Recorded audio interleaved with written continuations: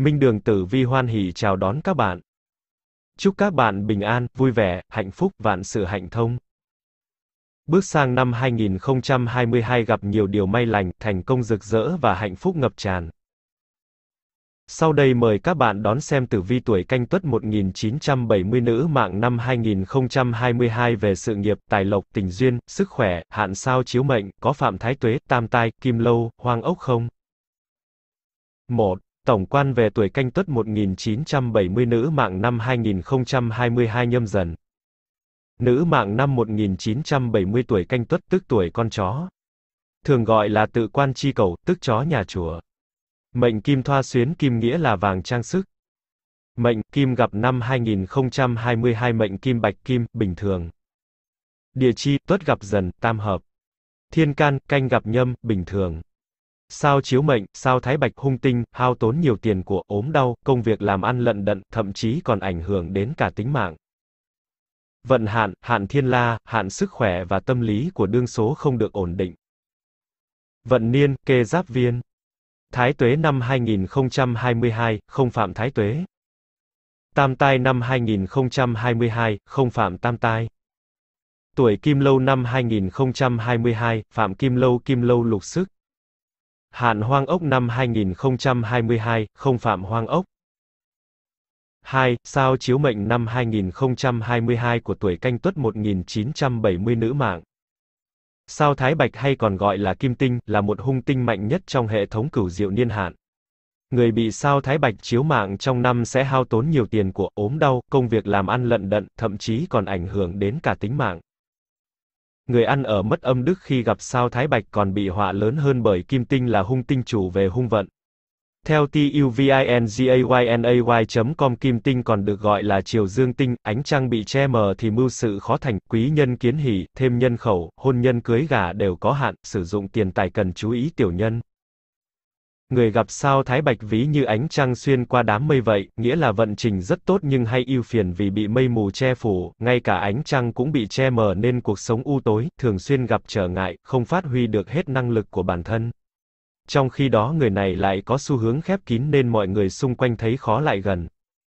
Nếu bản mệnh vượt qua được những rào cản trên thì vận trình thăng tiến rất nhanh, gặp việc gì cũng cần lưu tâm, chú ý, cẩn trọng với việc cho vay tiền vì dễ phát sinh cãi vã.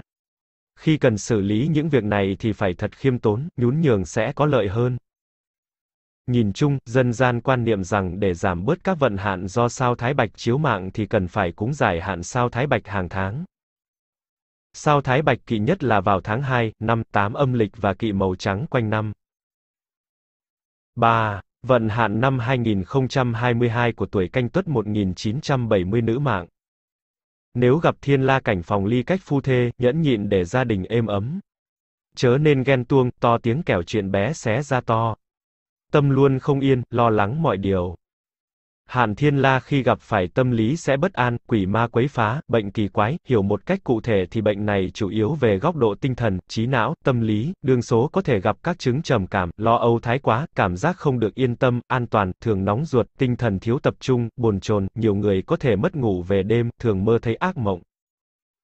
Có một số sách khác ghi chép thêm, khi gặp hạn thiên la này vợ chồng thường mâu thuẫn, bất hòa, cãi vã, gia đạo lục đục chắc trở, thường xảy ra cãi vã, ghen tuông, lời qua tiếng lại, khiến cho chuyện nhỏ hóa lớn, dẫn tới cảnh vợ chồng xa cách, ly thân, ly dị. Thế nên cả hai cần nhẫn nhịn, thấu hiểu nhau, như vậy với được hạnh phúc. Hạn Thiên La là một trong hệ thống 8 hạn luân phiên theo năm đối với các tuổi. Nếu gặp năm hạn Thiên La này sức khỏe và tâm lý của đương số không được ổn định, Thiên la được hiểu là lưới trời. Xét về sao thiên la, trong môn tử vi đầu số, sao thiên la luôn được an cố định tại cung thìn, cùng với địa võng sao này chỉ hệ thống luân lý, cương thường, đạo đức và luật pháp, nội quy, quy tắc ràng buộc con người, khiến mọi người phải tuân thủ, chấp hành. Đối với sao thiên la này, nếu vi phạm, làm trái, vượt qua thường sẽ gặp rắc rối đến liền, nhẹ thì mang tiếng xấu, bị hiểu lầm, cãi cọ, bị dư luận xã hội lên án, phê phán đả kích mạnh mẽ, nặng thì dây dưa kiện cáo và thậm chí phải chịu các mức án xử phạt theo quy định của nhà nước, cơ quan, tổ chức, đơn vị. 4. Vận niên năm 2022 của tuổi canh tuất 1970 nữ mạng. Kê giáp viên là hình tượng gà được thả vào trong vườn, điều này báo hiệu một năm thành công và no đủ với bản mệnh. Trong năm gặp vận niên này bản mệnh có tài lộc hoạnh phát, được người khác cho biếu tặng tiền bạc tài sản. Công việc làm ăn tấn tới, kinh doanh buôn bán đắt hàng, xin việc mới hoặc xuất hành đi xa đều có lợi. Trong năm này sức khỏe của bản mệnh khá tốt, tuy nhiên bạn cần tránh di chuyển đường sông nước cầu phà. Trong năm gặp vận niên kê giáp viên bản mệnh cần lưu ý hạn chế cho người khác vay mượn tiền bạc bởi cho vay nợ sẽ rất khó đòi lại được. Trong năm này bản mệnh nên làm phúc giúp đỡ cho người khác nhiều hơn. Về đường tình duyên, trong năm bản mệnh nên chân thành, trung thủy với bạn đời kẻo mắc mưu kẻ xấu, gặp khẩu thiệt nho nhỏ. Ngoài ra, trong năm này dễ có bạn khác giới đang muốn lợi dụng bạn. 5. Tuổi canh tuất 1970 nữ mạng trong năm 2022 có phạm hạn thái tuế không? Theo tử vi ngày nay, trong năm 2022, có 4 con giáp tuổi dần, tỵ, thân, hợi sẽ phạm thái tuế. Cụ thể, tuổi dần năm 2022, năm bản mệnh, năm tuổi, tuổi dần phạm trị thái tuế, hay trực thái tuế, vận trình gặp nhiều trở ngại, sức khỏe bị ảnh hưởng. Tuổi Tỵ năm 2022, tuổi Tỵ phạm hại thái tuế, bản mệnh dễ bị người khác hãm hại, bị bạn bè bán đứng, chuyện hợp tác làm ăn đổ bể, tổn hao tiền của, ngộ độc thức ăn, bản thân hay bạn bè, người thân thiết gặp bệnh tật tai họa, dễ bị hiểu lầm dẫn đến tổn thất to lớn, bị kiện cáo. Tuổi thân năm 2022, tuổi thân phạm sung thái tuế, bản mệnh trong năm làm chuyện gì cũng bị ngăn cản, dễ bị cạnh tranh, vận trình nhiều biến động. Tuổi hợi năm 2022, tuổi hợi phạm phá thái tuế, bản mệnh dễ gặp phải những chuyện bị phá hoại bất ngờ, có thể bị phá cho mất đi quyền lực, tiền tài hay sức khỏe, tình duyên, bạn bè, tình thân, các mối quan hệ xã hội. Như vậy, trong năm 2022 thì tuổi canh tuất 1970 nữ mạng không phạm hạn thái tuế. 6. Tuổi canh tuất 1970 nữ mạng trong năm 2022 có phạm hạn tam tai không? Hạn tam tai chính là hạn của 3 năm liên tiếp đến với mỗi tuổi. Tam có nghĩa là 3, số 3, thứ 3. Còn tai, nghĩa là tai họa, họa hại. Và trong một đời người như vậy cứ sau 12 năm thì lại gặp hạn tam tai một lần, tức là cứ 12 năm thì có 3 năm liên tiếp gặp hạn tam tai. Bản mệnh tuổi thân tý thìn gặp hạn tam tai vào năm dần mão thìn. Bản mệnh tuổi dần ngọ tuất gặp hạn tam tai vào năm thân dậu tuất. Bản mệnh tuổi tỵ dậu sửu gặp hạn tam tai vào năm hợi tý sửu. Bản mệnh tuổi hợi mão mùi gặp hạn tam tai vào năm tỵ ngọ mùi. Bản mệnh tuổi canh tuất theo quan niệm dân gian cần tránh các năm tam tai, nhâm thân, quý dậu, giáp tuất, giáp thân, ất dậu, bính tuất, bính thân, đinh dậu, mậu tuất, mậu thân, kỷ dậu, canh tuất, canh thân, tân dậu, nhâm tuất. Như vậy trong năm 2022, tuổi canh tuất 1970 nữ mạng không phạm hạn tam tai.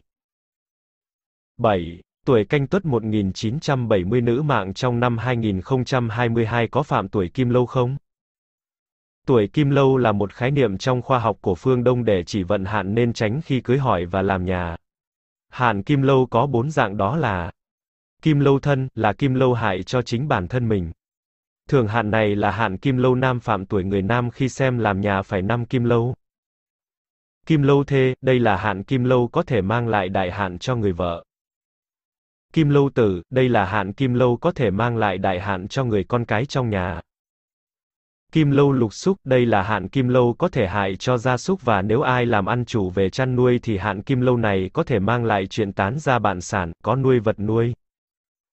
Theo kinh nghiệm dân gian và cổ thư để lại thì 1, 3, 6, 8 thị kim lâu tức lấy tuổi âm chia cho 9, số dư thuộc vào một trong bốn số trên thì phạm kim lâu, cụ thể dư một phạm kim lâu thân, dư ba phạm kim lâu thê, dư 6 phạm kim lâu tử, dư 8 phạm kim lâu lục xúc, ngoại trừ 8 tuổi không phạm kim lâu là tân sửu, tân mùi, kỷ sửu, kỷ mùi, canh dần, nhâm dần, canh thân và nhâm thân. Như vậy trong năm 2022, tuổi canh tuất 1970 nữ mạng là 53 tuổi phạm tuổi kim lâu kim lâu lục xúc. Năm này bản mệnh không nên xây nhà, sửa nhà, kết hôn cưới hỏi. Nếu bản mệnh không làm kinh tế chăn nuôi thì có thể xây nhà, sửa nhà, kết hôn năm này. 8. Tuổi canh tuất 1970 nữ mạng trong năm 2022 có phạm hạn hoang ốc không? Hoang có nghĩa là bỏ hoang, trống vắng. Ốc có nghĩa là nhà. Thế nên hạn này có nghĩa là ngôi nhà hoang, một vận hạn mà chúng ta cần tránh, kiêng kỵ khi xây nhà. Nếu làm nhà mà vào hạn đúng cung xấu sẽ dễ khiến cho công việc tiến hành hay gặp trắc trở, khó khăn. Cuộc sống sau này nghèo túng, làm ăn khó phát, sức khỏe, quan hệ gia đình ngày càng có nhiều vấn đề theo hướng tiêu cực. Hạn tuổi hoang ốc được chia thành 6 cung tất cả, trong đó có 3 cung tốt, 3 cung xấu, cụ thể như sau. Nhất cát hay kiết cũng vậy, tốt, làm nhà tuổi này sẽ có chốn an cư tốt, mọi việc hanh thông, thuận lợi, nhất kiết an cư, thông vạn sự. Nhì nghi tốt, làm nhà tuổi này sẽ có lợi, nhà cửa hưng vượng, giàu có, nhì nghi tấn thất địa sinh tài. Tam địa sát xấu, tuổi này làm nhà là phạm, gia chủ sẽ mắc bệnh tật tam sát nhơn do giai đắc mệnh. Tứ tấn tài tốt, làm nhà tuổi này thì phúc lộc sẽ tới, tứ tấn tài chi phước lộc lai. Ngũ thọ tử, xấu, tuổi này làm nhà là phạm, trong nhà chia rẽ, lâm vào cảnh tử biệt sinh ly, ngũ tử ly thân phòng tử biệt.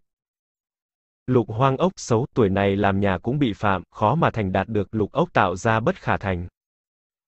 Theo quan niệm dân gian, nếu vào các năm phạm lục hoang ốc, tam địa sát, ngũ thọ tử thì dễ gặp các hạn chủ về chết chóc, bệnh tật tán ra bại sản nếu mua hoặc xây nhà trong năm đó. Đúc kết theo cách tính dân gian, đời người 75 tuổi sẽ có 29 năm phạm hạn hoang ốc, thọ tử hoặc địa sát. Cách tính hạn tuổi hoang ốc đơn giản như sau, lấy chữ số hàng chục cộng chữ số hàng đơn vị chia cho 6 và lấy số dư. Trường hợp số dư 1 là nhất cát, dư 2 là nhị nghi, dư 3 là tam địa sát, dư 4 là tứ tấn tài, dư 5 là ngũ thọ tử, dư 6 là lục hoang ốc. Như vậy trong năm 2022, tuổi canh tuất 1970 nữ mạng là 53 tuổi âm không phạm hạn tuổi hoang ốc. Năm này bản mệnh có thể xây nhà, sửa nhà. Cảm ơn các bạn đã theo dõi video. Xin chào và hẹn gặp lại.